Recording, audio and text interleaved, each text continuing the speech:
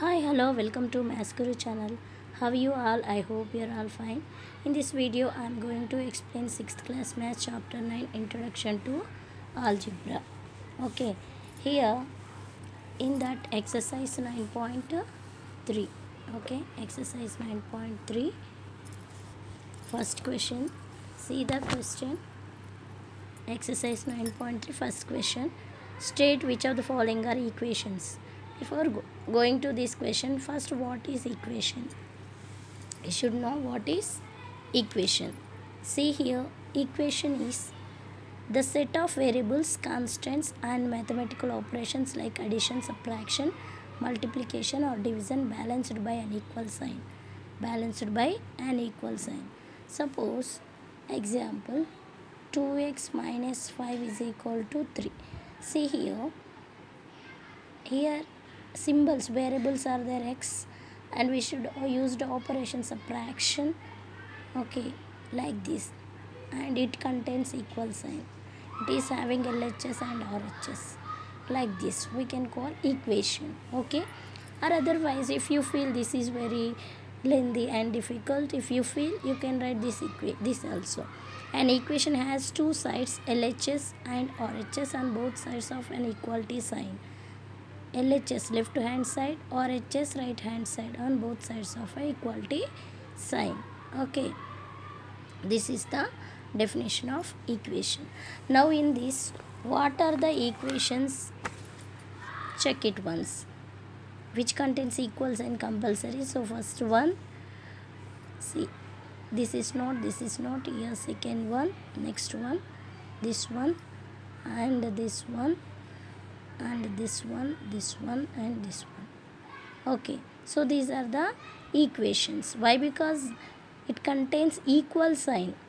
If it is contains uh, less than greater than sign it is not a equation. Equation means within the name only there equation means equal sign. Compulsory it should contain equal sign. Okay now just that only i am writing here. First question answer.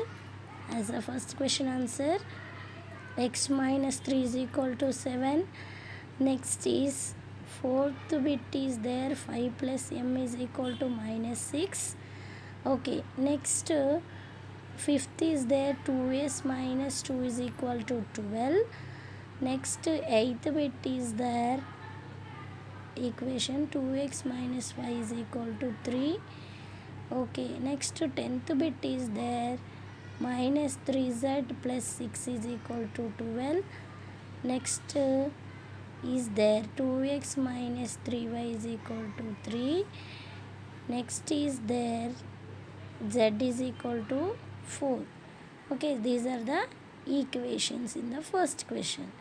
Okay first question. Next second question is there. Once see here.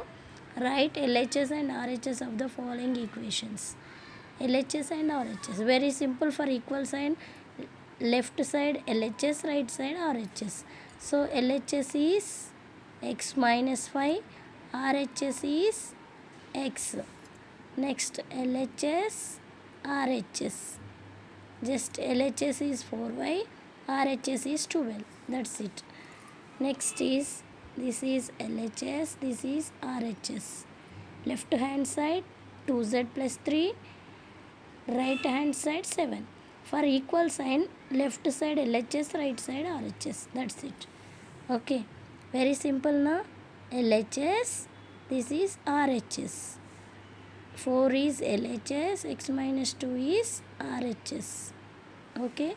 Sixth one LHS next RHS okay. This is. These are the first question second question solutions and third solution I'll explain on the board okay? Let us see the next video